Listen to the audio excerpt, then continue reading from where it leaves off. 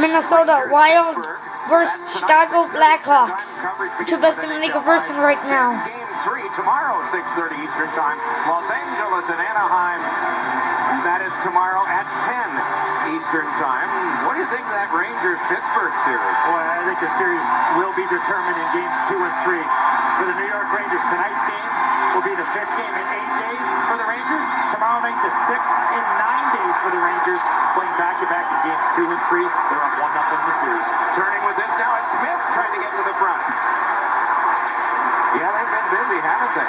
Don't see that very often in the playoffs. Kane fanned on a shot. And out of the cluster, it's dumped to the corner, and Scandella races in along with Sharp. Scandella down, sprawling, Sharp right over him. Smith trying to work it along. Scandella prevailed and dumped it on further for the carry back up by Moulson. Nice upfield from Scandella. Sharp and him had a battle going on before they came together in the corner. Cleared on out to Sharp was just leaving and could not play that one. The Wild can. And so they sent Men's Rashad not playing in game two. He'll be back in game three. Round go in the two. third period. Parise whacked it Tomorrow right back again, stopped there by night. Lifted along for Hjalmarsson to touch further. And right back out comes Bickell.